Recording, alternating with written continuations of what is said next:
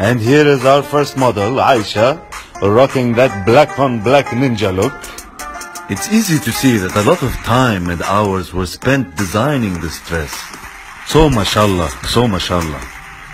Our next model, Fatoum. Wow, this dress is same same, but different. Huh, I wasn't expecting that accessory though. Really complements the dress. And our next model, Hanifa, rocking that summer look. Hey, I'm cute, look at me, but don't look at me. one look is halal, so make sure it's a long one.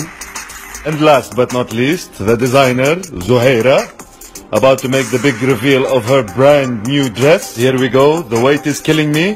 Whoa, amazing, shocking. I was not expecting that. Truly elegant and so mysterious.